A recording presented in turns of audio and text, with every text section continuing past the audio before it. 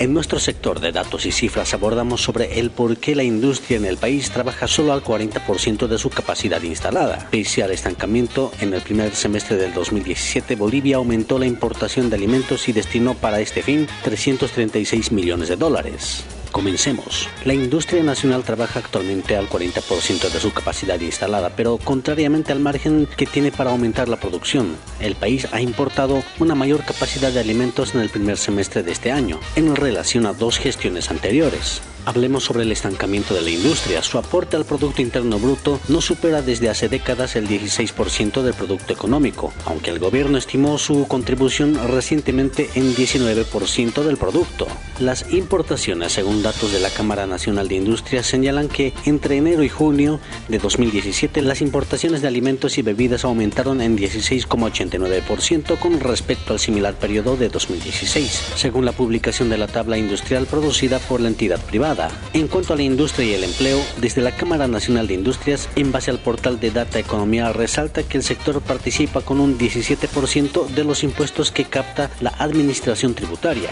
El sector sostiene 112 mil empleos. Hablemos sobre la fuerza laboral en las industrias. El sector absorbe el 11% de la población económicamente activa y participa además con el 20% en la cartera de crédito del sistema financiero nacional. Sobre la desaceleración, desde el 2014 el país se enfrenta a una pérdida de dinamismo de la economía, luego de haber registrado un alto crecimiento en el 2013, al que se le denominó el año de oro de la economía. El déficit comercial de las industrias se ha reflejado por sobre todo en el consumo de las familias, en los niveles de inversión, el gasto público y el balance comercial que, de acuerdo al Instituto Boliviano de Comercio Exterior, llegó a 714 millones de dólares en el primer semestre, habiéndose elevado un 14% respecto al similar periodo del año pasado. Según la Cámara Nacional de Industrias, la economía se frenó desde el 2015, año en el que el país comenzó a sentir las señales de la pérdida de dinamismo de las actividades económicas, por el descenso de los precios de las materias primas, principalmente del gas natural, minerales, productos no tradicionales como la soya,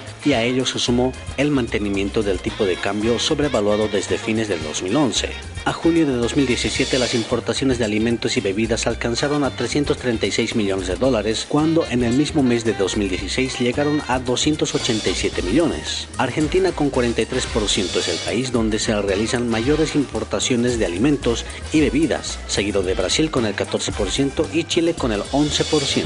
Por último, en el país, Santa Cruz con un 31%, La Paz con 28% y Tarija con 19% son los departamentos que registran mayores de importaciones de alimentos y bebidas.